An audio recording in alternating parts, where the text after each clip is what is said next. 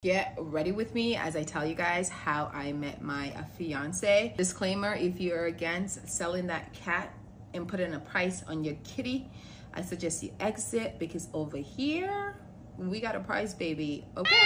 Say, hold up, wait a minute, something ain't right. I am just doing the final touches on my makeup because honestly I filmed this video and then I was like oh let me film it again. People come on my comments all the time and they're like be honest you were out selling that cat and that's how you met him and I was.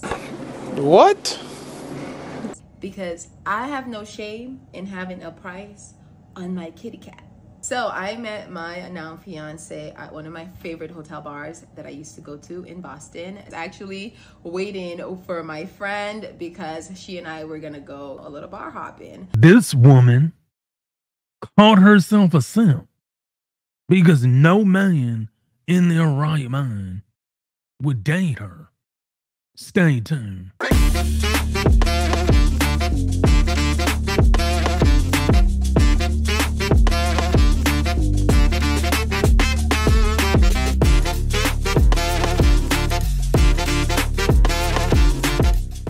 Everybody? Welcome back to the channel. Hit that like button on your way in. Tickle that notification bell that will let you know every time I upload content. And you know what we're going to do right before we do anything. Say it with me, y'all. We're going to roll that clip.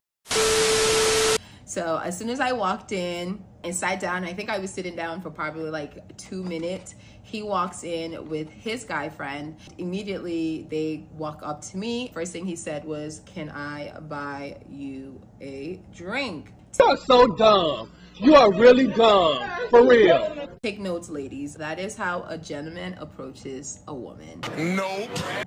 Sitting at the bar. Didn't ask me my name. He didn't ask me what I did for a living. He didn't ask any of those things. He just asked me what I wanted to drink. And the bartender was making our drinks. I excused myself to the ladies' room and I wanted him to see my legs because my legs were out and I was looking good, okay? And when I came back, the sitting arrangements had changed because originally his friend was sitting next to me and he was sitting on the other side to his friend. And when I came back from the bathroom, him and his friend had exchanged seats. So it was gonna cost him because I'm sorry, you just met me. So if you're gonna assume I'm a, I'm going to be a hoe that gets paid. I'm not a free hoe. This is the sad, tragic tale of a modern woman that thinks selling her kitty equals getting a good man. Oh, that's nasty. And when you go to this video and you look at the comments, you have modern women cheering her on. This is a direct result of why feminism and modern women have destroyed the dating market. Yep. This is the reason why so many men are going overseas. You think that your kitty cat is that good that you're going to sell it? So let me get this straight. Your fiance was a trick who came to the club, who bought your vajayjay, and he got addicted to it, and he decided to turn her into a housewife. I'm just gonna let you know your dude is a simp, and more than likely, you're draining his resources. And while you're going out to the club, because you probably still go to the club to strip, you're going out getting other men to give you money while you have a fiance at home who is oblivious to what really goes on in strip clubs. So while your fiance is at home, oblivious, you're going out doing something strange for some change. This is why American black women are losing in the dating market. This is the reason why black women are not getting married you see the statistics, and we've gone over those multiple times on this channel. This streets. is why black women keep losing.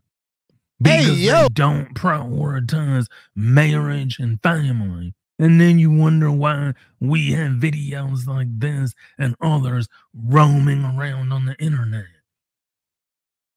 And this is the reason why other cultures of men don't want to date you. Black women think that you're going to go overseas and have the same success as black men. No.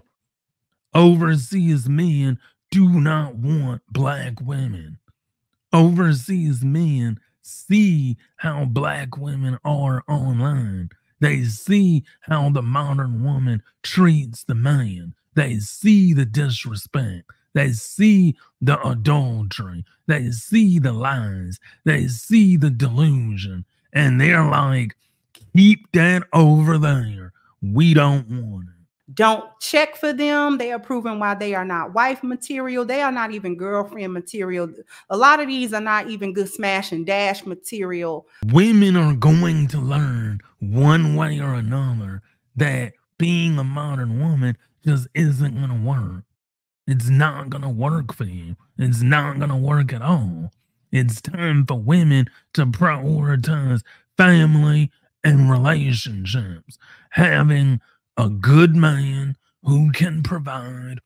It's time for women to worry about family. Anyway, y'all, that's been it for today's video. Do not forget, I will be going live tonight, 6:30 p.m. Do not miss it. It will be a live call-in show. Hope to see your face in the place. Like, share, and subscribe. Tickle that notification bell that will let you know every time I upload content. And until the next video, peace.